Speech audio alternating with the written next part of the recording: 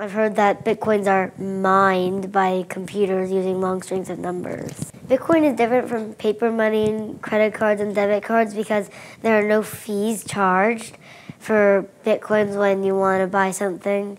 And unlike paper money, it doesn't cost you your time and you don't have to be present. It's anonymous, which means it's easier for bad people to buy drugs and guns and be untraced. Also, you don't have to be a certain age to mm-hmm. use Bitcoin, so I think kids could use Bitcoin, especially if they're trying to buy something that's only made in Japan uh, on the other side of the world or in Alaska or some other far off place.